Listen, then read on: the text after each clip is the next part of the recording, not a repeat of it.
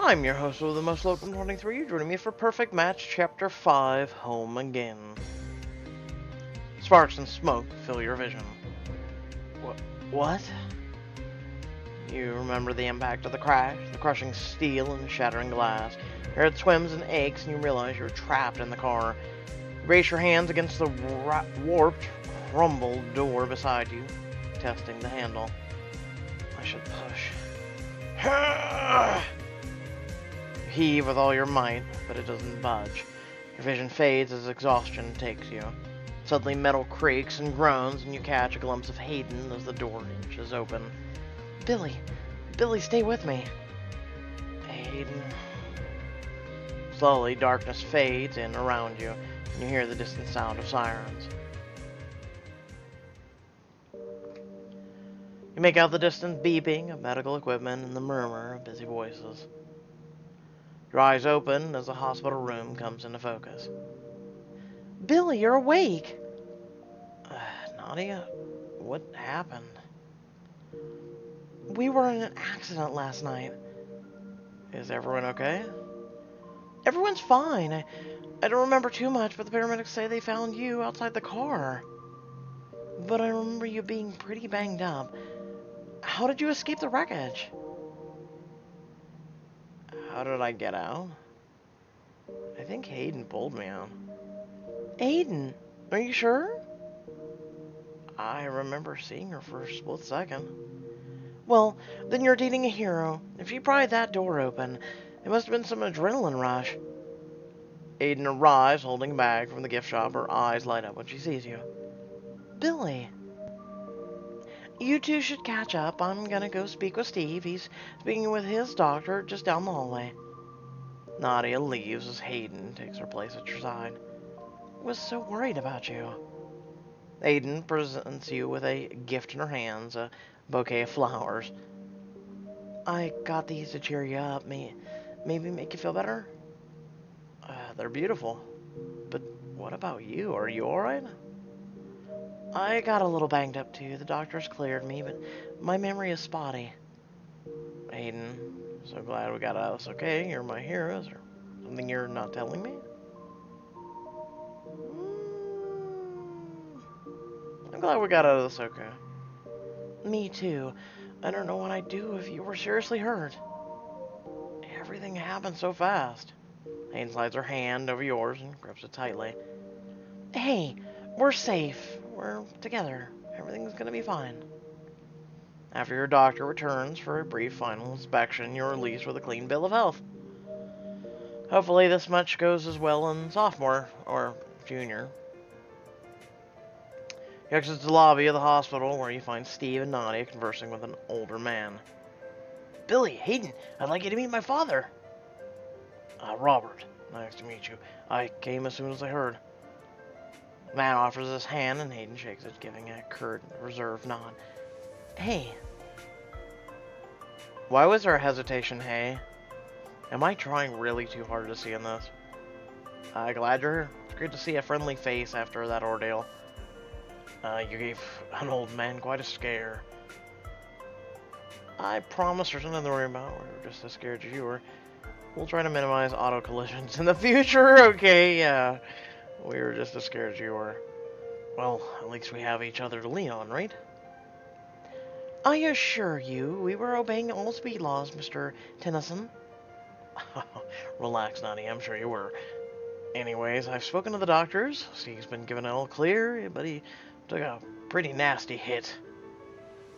He also had a bad cut on his palm from broken glass. Nadia dotes over a bandage wrapped around Steve's hand. It's fine, Nadia. Nothing but a scratch. Even so, I'd like to take Steve back to my place to rest up and give him some time-tested home remedies. I'm pretty sure it's whiskey or apple cider vinegar or both, but that's my pops for you. Always the DIY. Is there anything we can do to help? Oh, no. Nadia has volunteered to lend me a hand. Two of you should relax, enjoy a seat Cedar Rest, and we can meet this afternoon as planned. You should try Gina's Pancake House. It's quaint and romantic place, quite the date spot if I remember correctly. Dad, please don't be embarrassing.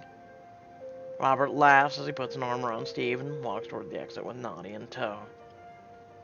We'll see you two later, Billy. Hayden takes her hand.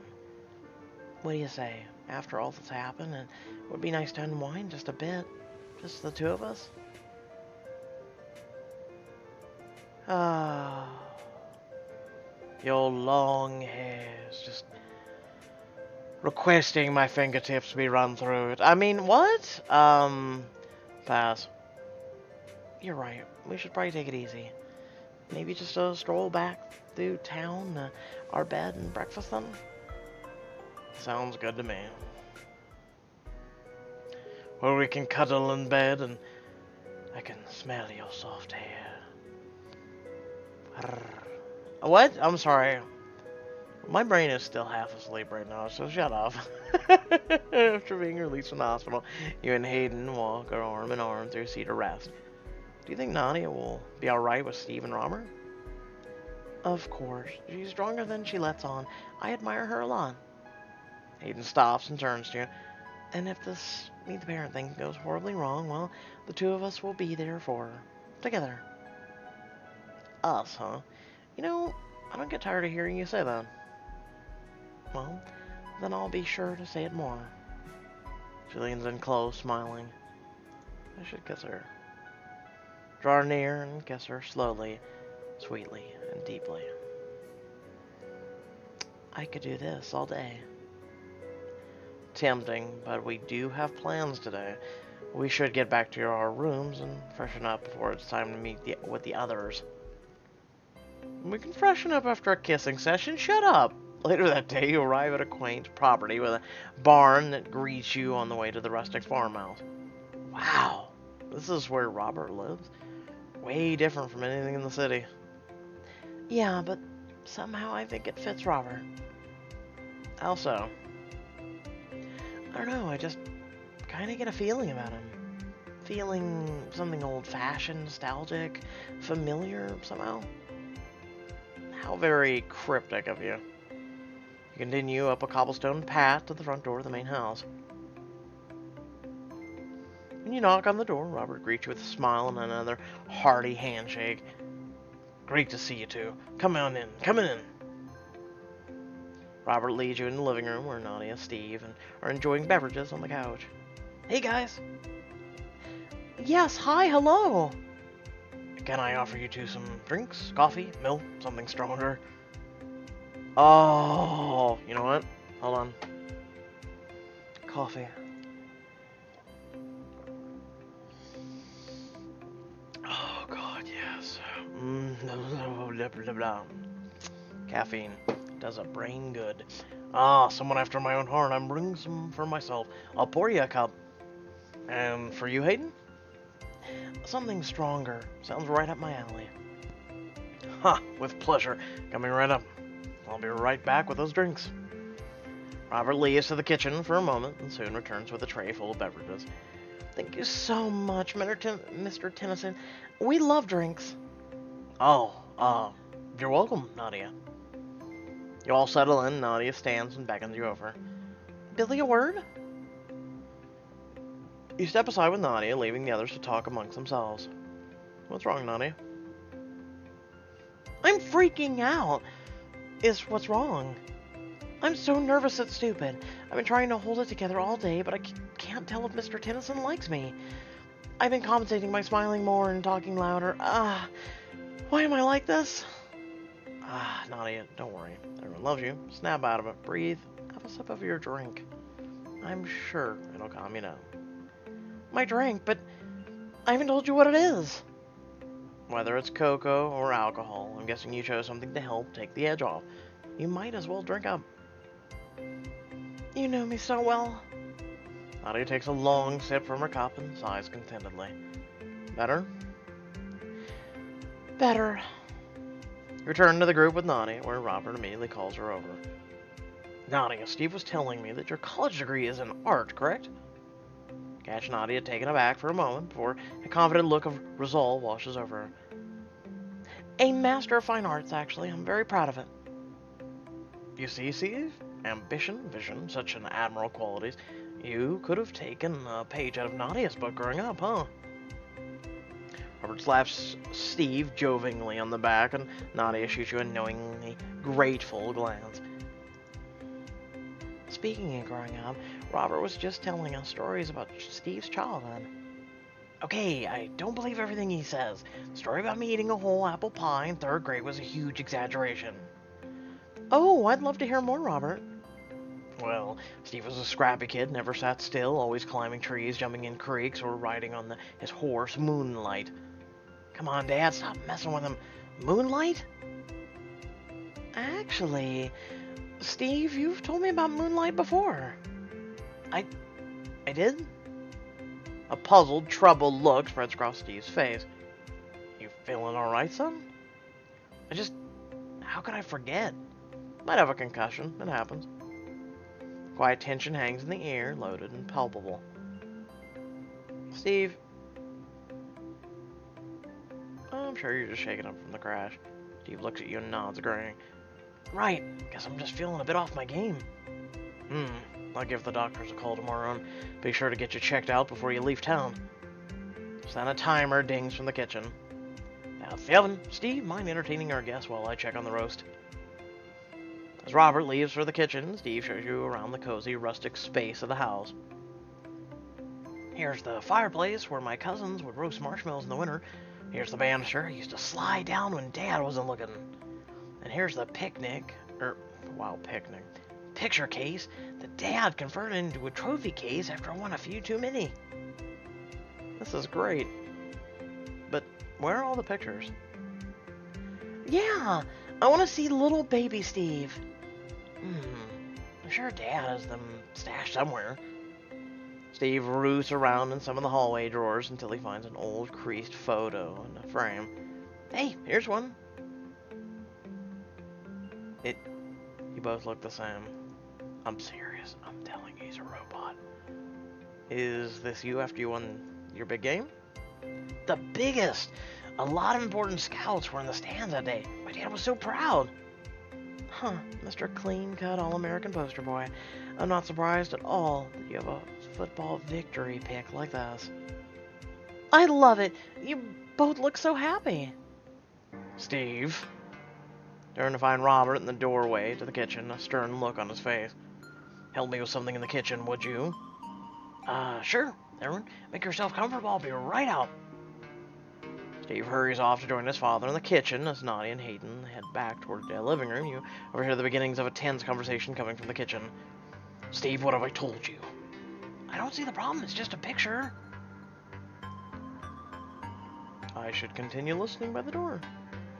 Linger by the kitchen door, listening. You know how pri important privacy in this is in the family. But Dad, I trust him. It's Nadia. Even so, what have I always taught you? Our Personal lives are our own business. Exactly. You have to trust me, son. This is for your our own good. I mean, I won't fault them, but at the same time, he's kind of over-exaggerating over a picture of them just playing football, but okay. Suddenly hear them stir and hurry to join the others in the living room. Hey, everyone. Hey, everything alright? Uh, yeah, or at least I hope so. Soon, Robert returns to the living room with Steve in tow and a big smile on his face. Roast is done, who's hungry? Robert leads everyone in the dining room, he pulls Steve aside. Hey, is everything alright? Your dad seemed upset. Oh, well, my dad is a pretty private guy. He can get kind of touchy about the family photos, especially ones where it's clear that a mother figure is out of the picture. No pun intended. Oh, I'm sorry.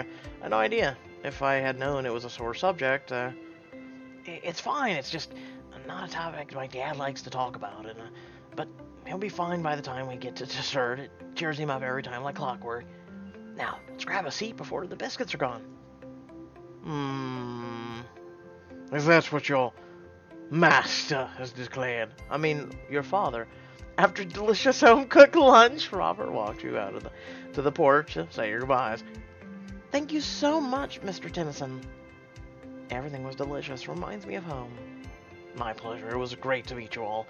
And Steve, mind that energy. Be sure to call me if you start to feel worse. Will do, Pops. Stop worrying so much. Thanks, Robert. We'll be seeing you. No, it's a pleasure. Hope to do it again, son. Yes, real soon. Let's get another car accident with your son so he, his robotic arm detaches. I'm serious. I'm I'm I'm really buying into the whole their AI. Later, the four of you and relax in the commons room of the bed and breakfast, looking out over the water. All things considered, Cedar Rest is a pretty beautiful place. Not a bad place to start a home. Maybe when we're a little more settled in after a certain someone pops a certain question. Moving a bit fast, aren't we? Real subtle, Nadia. Look over to find Steve over by the window, lost in troubled thought, gazing out over the lake. Steve? Walk over and place a hand on his shoulder. Uh, hey, Steve? What's on your mind? You look a little worried. I guess I'm feeling a bit off. Maybe it's nostalgia? I don't know, coming back home has been more emotional than I thought it would be. Steve takes a deep breath and then shakes away his frown. well, sorry to bring down the mood. Don't mind me. Watch as Steve goes to rejoin the others, putting on a smile as he kisses Nadia on the forehead. Huh. Later that night, you waken to the sound of shouting and rush over to Nadia's suite. Nadia, what's wrong?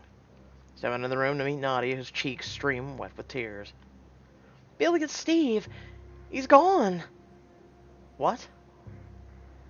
I woke up and he was gone. His suitcase is missing too. It's it's like he just packed up and left. I've been trying to reach him for hours and he's not answering any of my calls. Don't worry, we'll find him. Hayden rouses and joins you in a hurry. It's all right, Nadia. I'll find him. I'll find him if I have to search all of Cedar Rest. Slow Hayden as she reaches for a coat and strides for the door. Hold on a second. First we should contact Robert and call Robert and call the police. Right, sorry. I just got anxious as to act. You console Nadia as Hayden makes uh, some phone calls. Before long, I alerted the local sheriff's department. I tried to call Robert too, but there was no answer. Maybe we should go to his place and check in person? I'll go. You stay with Nadia. Hayden gives you a kiss on the cheek and heads out the door with purpose. Minutes pass and you sit holding a distraught Nadia, but time does nothing to ease her pain. Billy, I can't just sit here and do nothing. I have to search for him.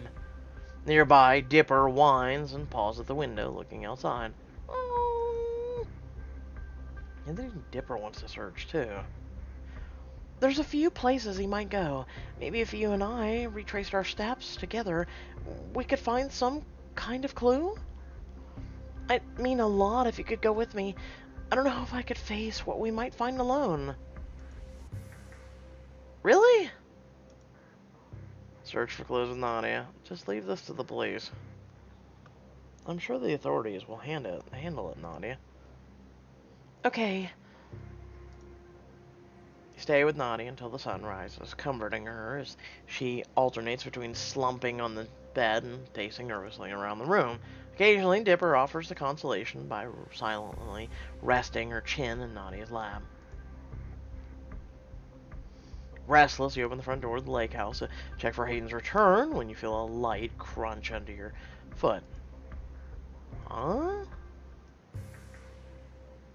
Letter. Examine letter. Find a crumpled, wind-tossed letter under your shoe, just barely pinned by the welcome mat. You pick it up and read, Nadia rushes over, curious. Billy, did you find something? Your heart sinks like a lead weight as you read the words. Yes, it's from Steve. Nadia, it's a goodbye letter. Are you serious right now? What in the actual just happened? I'm so confused. They had such a perfect relationship and then it's like, you know what? No. Because I came home, I just don't want to be with you anymore. Like, is the AI malfunctioning? oh man, I'll tell you. I just keep having fun with this. Um, speaking of which, I hope y'all did enjoy the video. Please feel free to like, comment, share, subscribe. And down the description below, there's links to social media or Discord and a few links to support me and my content. So what do you think? Do you think maybe just Steve had some flashbacks, or maybe the you know, what happened to him in the car accident made him rethink things. Maybe, you know, he's malfunctioning. Either, I mean, you as a human organism can malfunction when you go through some injury. Remember that. Or is he malfunctioning as the quote unquote theoried AI he is? Um, who knows? Maybe, you know, it, it's weird the whole conversation we overheard, the whole conversation, and the fact that they had no pictures. The, the whole situation is a bit weird, don't you think? Um, though for me, I'm going to be honest, I don't have many pictures of myself. Um, I have pictures of my family. I have pictures of people around me when I was growing up, but I don't have many pictures of myself. I'm not a I'm not a photogenic person. Excuse me. Boy, today's gonna be a hard day to push through. if it was up to me, I would turn around right now, get out of this chair, go over to my bed, crawl into it, wrap myself in the blankets, and mm, just pass out for the whole damn day. I haven't been able to do that in a very, very, very long time. With that being said, I hope you all did enjoy the video. You know what to do. I thank you all for watching, and I'll catch you all in the next video. Which, most likely, for those who have stayed to the end of the video, will be a Diamond Editions. Um, we still have Chapter 9 and 10 of Endless Summer. We're also doing It Lives in the Woods, and some other things. And also keep in mind, um, tomorrow is Chapters Days, where we've got a bunch of content coming out tomorrow, and then also a new book that's actually coming out, too. So stay tuned for that as well. Um, it's the... I believe it's called the the boy I hate, which is very interesting. Hopefully, it's not as bad as his. Ugh. Until next time, you know what to do. Peace.